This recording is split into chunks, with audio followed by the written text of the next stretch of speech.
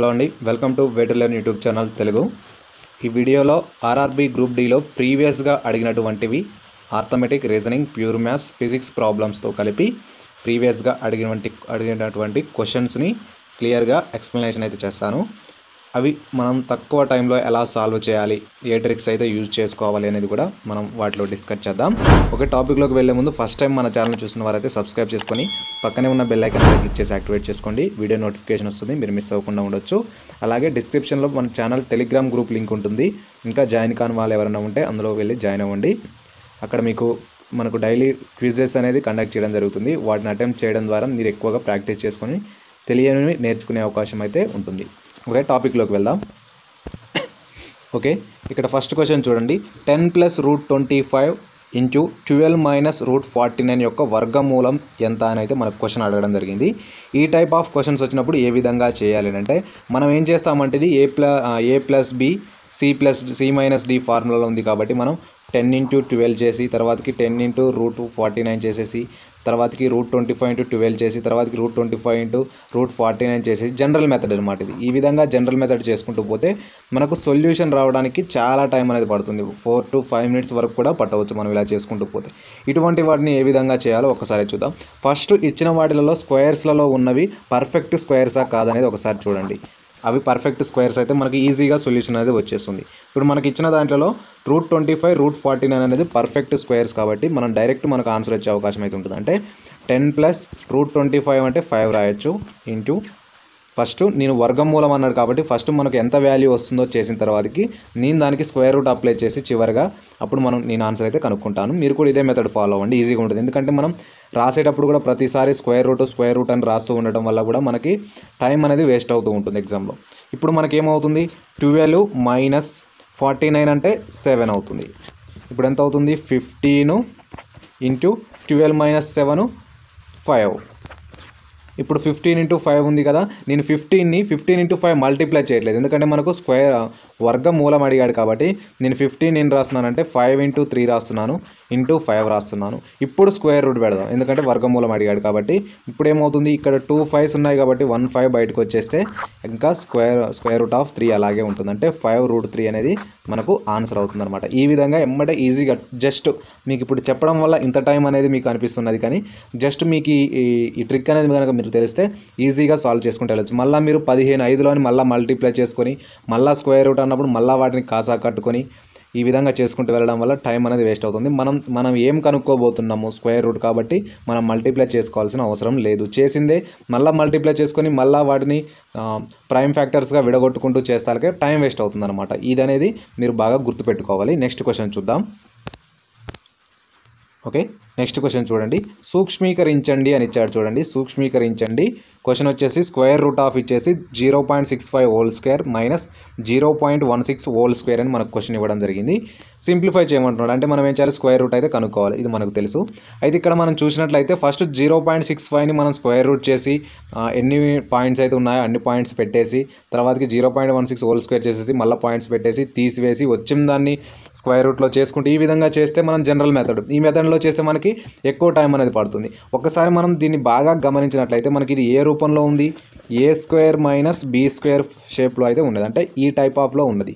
అంటే A square minus B square అంటే మనం దీన్ని A plus B into A minus B ఫామ్లో రాసుకోవచ్చు అనమాట కాబట్టి ఇచ్చిన దాన్ని మనం ఏం చేద్దామంటే A square minus B square ఫామ్లో అయితే రాద్దాం. ఇక్కడ నేనేం చేస్తున్నానంటే ఇక్కడ టూ డిజిట్స్ ఏ ఉన్నది ఇక్కడ టూ డిజిట్స్ ఏ ఉన్నది కాబట్టి నేను ఈ డిజిట్స్ లేవని తీసుకొని లాస్ట్కి ఆన్సర్ వచ్చిన తర్వాతకి టూ డిజిట్స్ తర్వాతకి ఆన్సర్ పెట్టుకుంటే సరిపోతుంది. ఎప్పుడు ఇది? రెండు వైపులా. అంటే మనకు ఏకు బీకు మనం ఏ స్క్వేర్ బీ స్క్వేర్ అంటున్నాం కాబట్టి ఏకు బీకు ఒకే దశాంశ స్థానాలు ఉన్నప్పుడు అంటే రెండు దశాంశ స్థానాల తర్వాతకి రెండు స్థానాల తర్వాతకి పాయింట్ ఉన్నది కాబట్టి రెండింటిలోనూ మనం ఈ మెథడ్ వాడుకోవచ్చు అనమాట అంటే ఇప్పుడు ఏం చేయాలి మనం? సిక్స్టీ ఫైవ్ తీసుకుంటున్నాను నేను. ఏం చేస్తున్నా? Sixty five plus sixteen into sixty five minus sixteen తీసుకుంటున్నాను. ఇప్పుడు ఏమవుతుంది సిక్స్టీ ఫైవ్ ప్లస్ సిక్స్టీన్ ఏమవుతుందంటే ఎయిటీ వన్ అవుతుంది. Into sixty five minus sixteen ఎంత అవుతుంది ఒక్క నిమిషం ఇక్కడ. సిక్స్టీ ఫైవ్ మైనస్ సిక్స్టీన్ వచ్చేసి ఫార్టీ నైన్ అవుతుంది.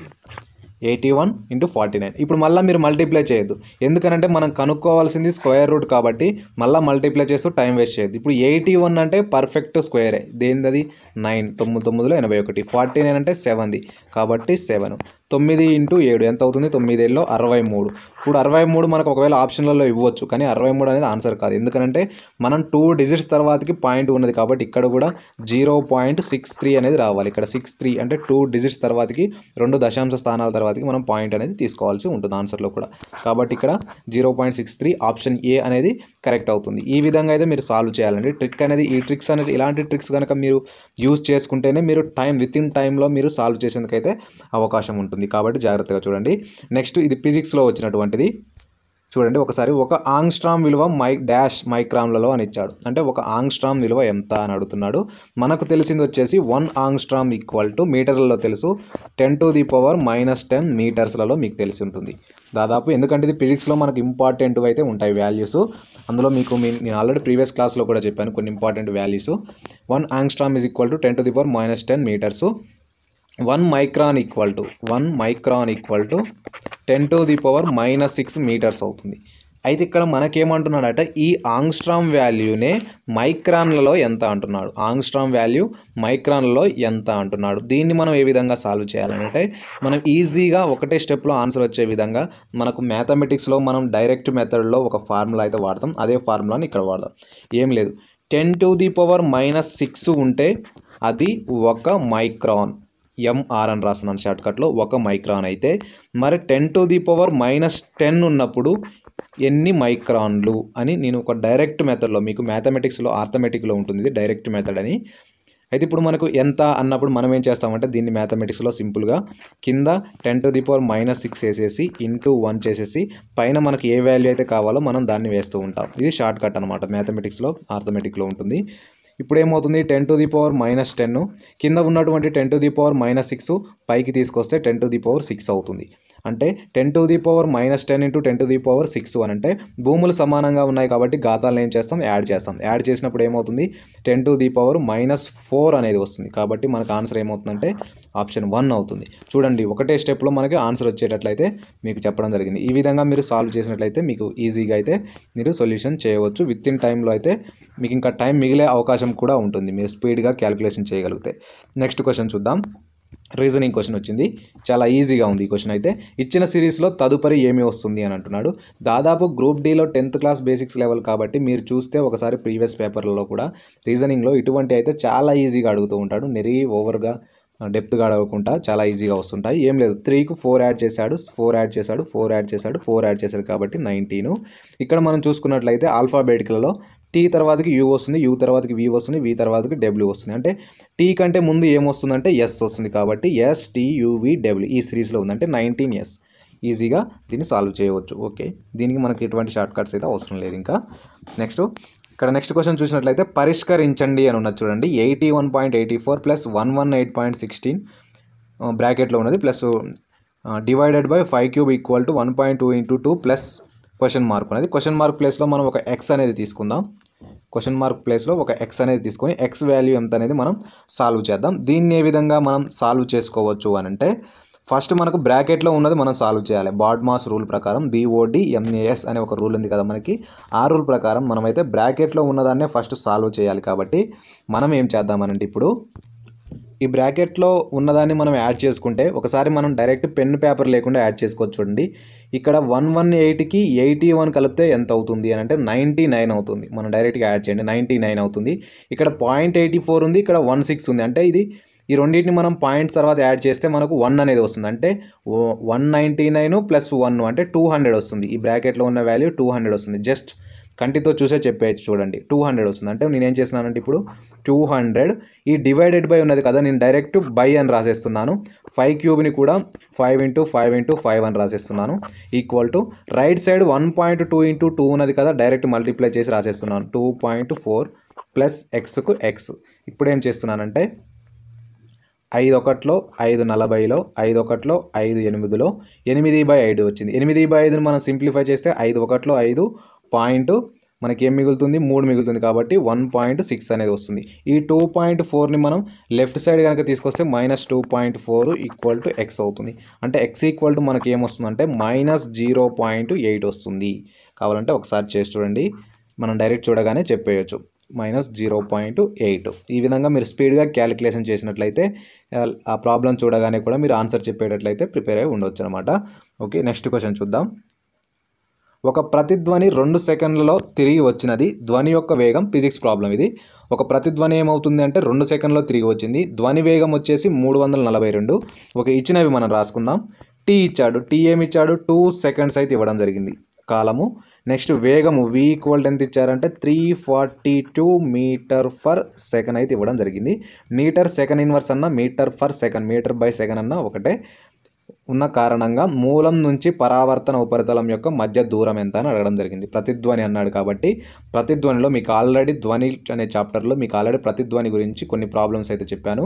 అవి చూడని వాళ్ళు మన ఛానల్ ప్లేలిస్ట్లోకి వెళ్తే ఫిజిక్స్ ప్రాబ్లమ్స్లలో ప్లేలిస్ట్లోకి వెళ్తే అందులో ధ్వని చాప్టర్కి సంబంధించినటువంటి వీడియోలో మీరు క్వశ్చన్స్ చూడవచ్చు.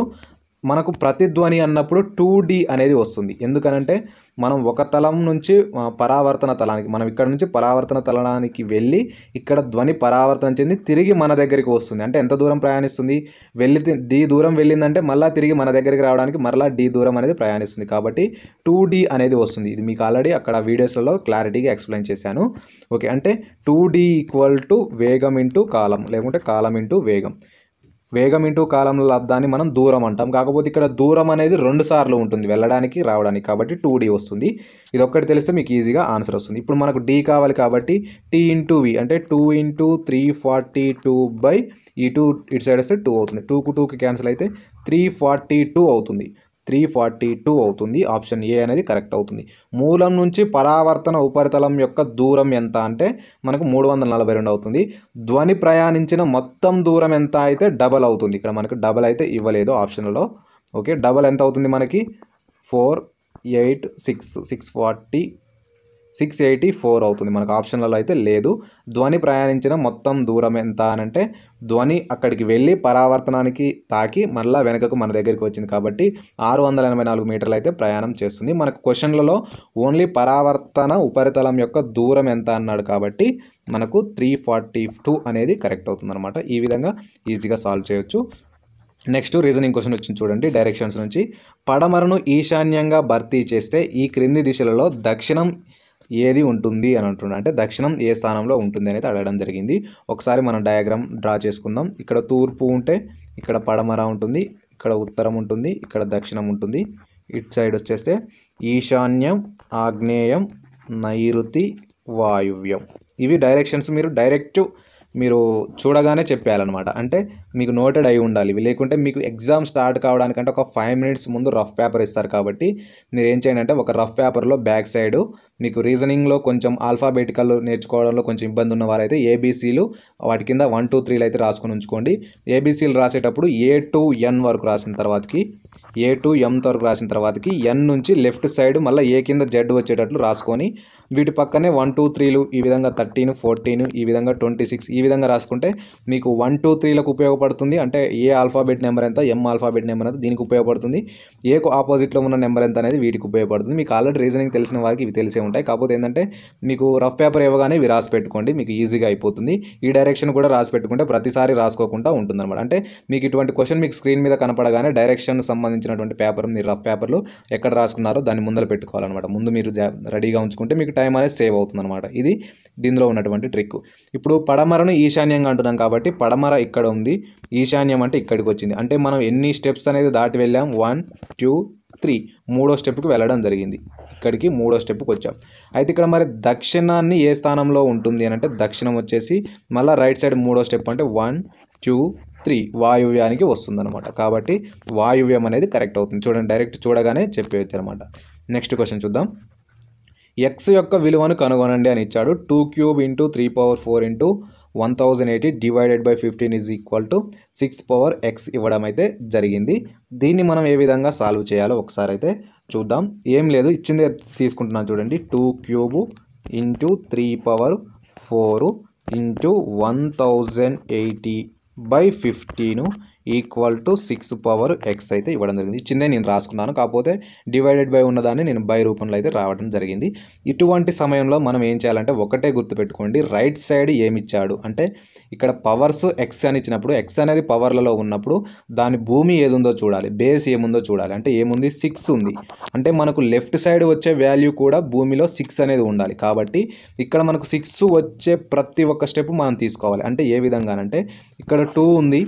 ఇక్కడ త్రీ ఉంది. అంటే మనం మల్టిప్లై చేసుకుంటే మనకు సిక్స్ అనేది వస్తుంది భూమి స్థానంలో. అంటే ఇక్కడ ఘాతంలో మూడు ఉంది ఇక్కడ ఘాతంలో నాలుగు ఉన్నది కాబట్టి మనం ఏం రాయొచ్చు అంటే ఇక్కడ ఈ ప్లేస్లో మూడు ఇంటూ మూడు పవర్ మూడు ఇంటూ మూడు పవర్ ఒకటి రాయొచ్చు అనమాట అంటే ఈ త్రీ పవర్ ఫోర్ ప్లేస్లో అంటే అప్పుడు ఈ రెండింటి ద్వారా మనం ఏం రాసుకోవచ్చు అంటే ఆరు ఘాతం మూడు రాయవచ్చు. ఎందుకంటే భూములు సమానం ఘాతాలు సమానం కాబట్టి భూముల్ని మనం మల్టిప్లై చేసుకోవచ్చు అనమాట ఇక్కడ మనకు సిక్స్ పవర్ త్రీ వచ్చింది కాబట్టి ఇంటూ ఇంకేం రాయొచ్చు మనం? మూడు మిగిలింది కాబట్టి మూడుని యాజ్ ఇట్ ఈజ్ రాస్తున్నాను. ఇక్కడ వెయ్యి ఎనభై ఉన్నది కదా మనం ఇక్కడ క్యాన్సిల్ చేసుకుంటే మనకు సిక్స్ పవర్స్ వచ్చే అవకాశం అయితే ఉంటుంది. అంటే ఫైవ్తో క్యాన్సిల్ చేస్తున్నాను. ఫైవ్ త్రీ జా ఫైవ్ టూ జా టెన్ ఫైవ్ వన్ జా ఫైవ్ ఫైవ్ సిక్స్ జా వస్తుంది. నెక్స్ట్ మూడు మూడు ఏడులో మూడు రెండులో అంటే డెబ్బై రెండు వచ్చింది చూడండి.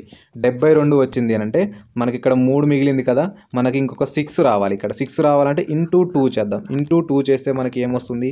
అంటే మిగిలిన దాన్ని సెవెంటీ టూని టూ ఇంటూ రాస్తున్నాను. టూ ఇంటూ రాస్తే సిక్స్ ఇంటూ సిక్స్. ఆరు ఆరులో ముప్పై ఆరు ముప్పై ఆరు రెండులో డెబ్బై రెండు. వచ్చింది కదా? అంటే ఈ మూడు ఇంటూ రెండు కలిపితే ఒక సిక్స్. ఒకటి రెండు మూడు. ఇక్కడ ఒకటి ఇక్కడ రెండు ఇక్కడ మూడు ఇక్కడ మూడు. ఆరు అయినాయి. అంటే ఆరు ఘాతం ఆరు ఈజ్ ఈక్వల్ టు ఆరు ఘాతం ఎక్స్ అంటే ఎక్స్ ఈక్వల్ టు ఎంత అన్నట్టు? సిక్స్. ఈ విధంగా మనం సాల్వ్ చేసుకోవాలన్నమాట. ఎందుకు ఈ విధంగా చెప్తున్నానంటే మనం తొందరగా ఆన్సర్ రావాలంటే మనకు రైట్ సైడ్ భూమి ఏదైతే ఉన్నదో మనం ఏ విధంగా మనం సిక్స్ వచ్చే అవకాశాలు ఉంటున్నాయి అనేది మన మైండ్లో ఉండాలి ప్రాబ్లం చేసేటప్పుడు. అటువంటప్పుడు మనం తక్కువ టైంలో ప్రాబ్లం అనేది సాల్వ్ చేస్తాం. గుర్తుపెట్టుకోండి. కాబట్టి సిక్స్ అనేది కరెక్ట్ అవుతుంది. నెక్స్ట్ క్వశ్చన్ చూద్దాం. వన్ పాయింట్ ఫైవ్ వోల్టేజ్ యొక్క సంభావ్య వ్యత్యాసం ద్వారా అరవై కులుం ఛార్జ్లను తరలించడానికి అవసరమైన శక్తి ఎంత అన్నాడు. Physics problem. ఈ ప్రాబ్లమ్ని మనం ఏ విధంగా సాల్వ్ చేయొచ్చు అంటే మనకు తెలవాల్సింది ఒకటే ఒకటి ఏమిటా ఫార్ములా అని అంటే డబ్ల్యూ లేకుంటే సంభావ్య వ్యత్యాసం వి ఈక్వల్స్ టు డబ్ల్యూ అంటే శక్తి శక్తి బై క్యూ క్యూలూమ్ ఛార్జ్ అనమాట విద్యుత్ ఛార్జ్ అని అంటాం. విద్యుత్ ఛార్జ్ ఈ ఫార్ములా కనుక మీకు తెలిస్తే V equal to W by Q already మీకు ఫిజిక్స్లో విద్యుత్ సంబంధించినటువంటి ప్రాబ్లమ్స్ అన్నీ కూడా ఫిజిక్స్ ప్రాబ్లమ్స్లో చెప్పాను. చూడడం వల్ల అయితే ఛానల్ ప్లేలిస్ట్లోకి వెళ్ళి అయితే మీరు అక్కడ ఫిజిక్స్ ప్రాబ్లమ్స్లో చూడవచ్చు. ఇప్పుడు మనకి ఏం కావాలి? వి కావాలన్నా లేకుంటే శక్తి కావాలన్నా ఏది అడిగాడు? శక్తి అడిగాడు. శక్తి అడిగాడు కాబట్టి నేను డబ్ల్యూ ఈక్వల్ టు రాస్తున్నాను. ఏం రాస్తున్నాను? వి ఇంటూ క్యూ వి ఎంత ఇచ్చాడు? One point five into Q ఎంత ఇచ్చాడు? సిక్స్టీ ఇచ్చాడు. ఇప్పుడు ఏమవుతుంది పదిహేను ఆరులో తొంభై. ఆల్రెడీ ఇంకొక జీరో ఉన్నది కాబట్టి జీరో. ఇక్కడ పాయింట్కు జీరో క్యాన్సిల్ అయితే నైంటీ మిగులుతుంది. శక్తి కాబట్టి ప్రమాణాలు జౌల్స్ కాబట్టి ఆప్షన్ టూ అనేది కరెక్ట్ అవుతుంది. నైంటీ జౌల్స్ అనమాట నెక్స్ట్ క్వశ్చన్ చూద్దాం. ఒక సమీకరణాన్ని సరిచేయడానికి పరస్పరం మార్చుకోవలసిన రెండు సంకేతాలను కనుగొనుము అని అన్నాడు. ఇక్కడ మనకు ఈ విధంగా రీజనింగ్ క్వశ్చన్ ఈజీగా చేయవచ్చు ఎవరైనా చేస్తారు ఇలాంటి క్వశ్చన్. అంటే ఏ రెండు అంటే మనకి ఇచ్చిన ఆప్షన్లలో ఏ రెండు సింబల్స్ని చేంజ్ చేస్తే మనకు కరెక్ట్ ఆన్సర్ అనేది వస్తుంది. అంటే రైట్ సైడ్ ఉన్నటువంటి ఇక్కడ ఈక్వల్ తర్వాతకి ఏమి ఇచ్చాడు? ట్వెల్వ్ ఇచ్చాడు. కాబట్టి ఈ ట్వెల్వ్ అనేది ఇక్కడ ఇచ్చినటువంటి వాటిలో ఏ రెండు సింబల్స్ని చేంజ్ చేస్తే వస్తుంది అనేది మనకు క్వశ్చన్ అడగడం జరిగింది. ఇది ఎవరైనా చేస్తారు బేసిక్గా. కాకపోతే ఎవరు తక్కువ టైంలో చేస్తారనేది మనకు కావాల్సింది. ఎందుకంటే వాళ్ళే ఉద్యోగం సాధించేందుకు అవకాశం ఉంటుంది. ఎందుకంటే వాళ్ళు టైంని తక్కువ టైంలో చేయడం ద్వారా కొన్ని క్రిటికల్ క్వశ్చన్స్కి వాళ్ళు ఎక్కువ టైం కేటాయించి వాళ్ళు సాల్వ్ చేసుకొని వన్ ఆర్ టూ మార్క్స్ ఎక్కువ సంపాదించుకునేందుకు అవకాశం అయితే ఉంటుంది. కాబట్టి ఇటువంటి క్వశ్చన్కి ఎటువంటి ఏ ట్రిక్స్ వాడుకొని చేయాలని అంటే ఇక్కడ మనకి కొంచెం క్వశ్చన్లో అయితే కొంచెం తేడా ఉంది. ఇక్కడ మేబీ డివైడెడ్ బై రావాలనుకుంటే ఇక్కడ ఇక్కడ క్వశ్చన్లో మిస్టేక్ అయితే రావడం జరిగింది. ఒకసారి ఒకసారి అయితే చూద్దాం. ఇప్పుడు మనం first option one two three ఫోర్లు చూసినప్పుడు మనం ఏం చేయాలంటే ఫస్ట్ డివైడెడ్ మీద ఫోకస్ చేయాలి. ఏ డివైడెడ్ మీద? ఫస్ట్ మనకు ఆప్షన్ వన్లో చూస్తే డివైడెడ్ని చేంజ్ చేయమన్నాడా అంటే చేంజ్ చేయమనలేదు. మీకు మీకు చెప్పేటప్పుడు ఎక్కువ టైం అయ్యే విధంగా అయితే చెప్తాను అర్థం కావడం కోసం. కొంచెం టైం ఎక్కువైనా ఈ క్వశ్చన్ కూడా ఇంత సమయం చెప్పాలా చెప్పాలా అవసరం లేదు కదా అని అనుకోవద్దు మీరు. మీకు అర్థం కావడం కోసం నెమ్మదిగా చెప్తాను చూడండి. ఫస్ట్ క్వశ్చన్లో ప్లస్ మైనస్ మాత్రమే చేంజ్ చేయాలన్నాడు కాబట్టి దీన్ని ఒకసారి మనం ట్రై చేసి చూడాలి. ఓకే సెకండ్ ఆప్షన్ చూద్దాం. మైనస్ డివైడెడ్ బై అన్నాడు కదా. మైనస్ డివైడెడ్ బై మనం చెక్ చేయాలా అన్నప్పుడు ఒకసారి మైనస్ ప్లేస్లో డివైడెడ్ బై వస్తుంది డివైడెడ్ బై ప్లేస్లో మైనస్ వస్తుంది. కాబట్టి మైనస్ ప్లేస్లో మనం ఒకసారి డివైడెడ్ బై తీసుకునే వీలుందా ఒకసారి చూద్దాం. మైనస్ ప్లేస్లో ఇక్కడ మీరు చూడండి. మైనస్ ప్లేస్లో డివైడెడ్ బై కనుక తీసుకుంటే two divided by twenty one వస్తుంది. Two divide by dead by twenty one వచ్చిందంటే మనకు పాయింట్స్లలో ఆన్సర్ వస్తుంది. టోటల్ ఓవరాల్ లెఫ్ట్ సైడ్ ఉన్నది పాయింట్స్లలో ఆన్సర్ వస్తుంది. కానీ రైట్ సైడ్ ట్వెల్వ్ ఉన్నది చూడండి. రైట్ సైడ్ ట్వెల్వ్ ఉన్నది కాబట్టి ఈ ఆప్షన్ అనేది డైరెక్ట్ మనం ఎలిమినేట్ చేసుకోవచ్చు. అంటే ఇది ప్రతిసారి ఇదే అవుతుందని కాదు ninety nine percentage one percent మాత్రమే ఈ విధంగా అయ్యే ఛాన్స్ అయితే ఉండదు. మరి అది ఏ విధంగా చేయాలని అంటే మనకున్నటువంటి రెండింటిని యూజ్ చేసినప్పుడు అంటే ఒకసారి మీకు చెప్తాను చూడండి. ఫస్ట్ ఇదే బేసిక్లో ఇక్కడ కూడా డివైడెడ్ బై ఉంటుంది మీకు ఆప్షన్లలో. ఇక్కడ మీకు ఆప్షన్లలో కొంచెం ప్రింట్ మిస్టేక్ రావడం వల్ల ఓకే? ఇక్కడ కూడా మనం చూసినట్టయితే ఇంటూ ప్లేస్లో డివైడెడ్ బై పెట్టి చూడండి. ఫైవ్ డివైడెడ్ బై టూ ఉంటుంది. ఇక్కడ కూడా పాయింట్స్లలో వస్తుంది. రైట్ సైడ్ మనకు పాయింట్స్లలో లేదు కాబట్టి ఈ ఆప్షన్ కూడా కాదు అనమాట అంటే టూ ఆప్షన్స్ మనం డైరెక్ట్ ఎలిమినేట్ చేసేసాం చూడగానే. అంటే మీకు చెప్పడం వల్ల ఇంత టైం అయినట్టు అనిపిస్తుంది కానీ మీకు అర్థం కావడం కోసం డైరెక్ట్ చూడగానే టూ ఆప్షన్స్ ఎలిమినేట్ చేసేయచ్చు అనమాట ఇక మిగిలినవి వన్ ఆప్షను థర్డ్ ఆప్షన్ ఈ రెండు ఆప్షన్లలోనే ఆన్సర్ ఉంటుంది. ఒకవేళ ఇన్ కేస్ ఈ రెండు ఆప్షన్లలో మీకు ఆన్సర్ రాలేదనుకోండి నైంటీ నైన్ పర్సెంట్ ఈ రెండు ఆప్షన్లలోనే వస్తుంది. ఒకవేళ రాకుంటే కనుక మీరేం చేయాలంటే కొట్టేసినటువంటి క్యాన్సిల్ చేసుకున్నటువంటి మిగతా రెండు ఆప్షన్స్ను కూడా ట్రై చేయండి. మ్యాక్సిమం మీకు అందుకే నైంటీ నైన్ పర్సెంటేజ్ అని చెప్పాను కదా నైంటీ నైన్ పర్సెంటేజ్ ఈ ట్రిక్ అనేది మీకు వర్కౌట్ అవుతుంది. ఓకే ఇంకా నెక్స్ట్ ఏమైనా క్వశ్చన్స్ వచ్చినప్పుడు అందులో కూడా మనం వేరే ట్రిక్ ఏ విధంగా యూజ్ చేసుకోవాలో అప్పుడు కూడా డిస్కస్ చేద్దాం. ఇప్పుడు మనం ఆప్షన్ వన్ చెక్ చేయాలా ఆప్షన్ త్రీ చెక్ చేయాలంటే రెండు చెక్ చేయాలి. ఫస్ట్ అయితే నాకెందుకో ఆప్షన్ త్రీ అనిపిస్తుంది. ఆప్షన్ త్రీని ఒకసారి అయితే నేను చెక్ చేస్తాను. ఓకే మీ ఇష్టం ఏదైనా చెక్ చేయొచ్చు. నేనైతే త్రీ చెక్ చేస్తున్నాను. ఎందుకంటే నాకు త్రీ వస్తుంది అనిపిస్తుంది ఈ విధంగా అంటే మనకు లక్ కూడా ఇంపార్టెంట్ ఈ రెండిట్లలో నాకు త్రీ అనిపిస్తుంది కాబట్టి నేను ఫస్ట్ త్రీ చేశాను కాబట్టి డైరెక్ట్ ఆన్సర్ వస్తే నా లక్ అనమాట అంటే నాకు కొంత టైం అనేది సేవ్ అవుతుంది అనమాట ఈ విధంగా కూడా లక్ ఫ్యాక్టర్ అనేది కూడా ఉంటుంది అనమాట వన్ త్రీలో నేను త్రీ గేస్ చేస్తున్నాను కాబట్టి ఇప్పుడు చూస్తాను. Twenty five plus five into ప్లేస్లో మైనస్ రావాలి కాబట్టి మైనస్ టూ మైనస్ ప్లేస్లో ఇంటూ రావాలి కాబట్టి into twenty one divided by three కాబట్టి ఇక్కడ డివైడెడ్ బై వచ్చింది కాబట్టి మీరు స్టెప్ బై స్టెప్ రాసుకుంటూ పోమాకండి. ఫస్ట్ స్టెప్లోనే మీరు మొత్తం క్యాలిక్యులేషన్ చేసే విధంగా ఉండాలి. Twenty one by divided by three అంటే సెవెన్ ఏడు రెండులో పద్నాలుగు ఇక్కడి వరకు పద్నాలుగు వచ్చింది. ఇరవై ఐదుకు ఐదు కలిపితే ముప్పై. ముప్పైలో నుంచి పద్నాలుగుని తీసివేస్తే ఓకే ఇక్కడ సారీ ఇక్కడ ఇరవై ఒకటి ఉన్నది కదా? ఇక్కడ ఇరవై ఒకటి ఓకే. ఇరవై ఒకటి ఐదు అంటే ఇరవై ఆరు.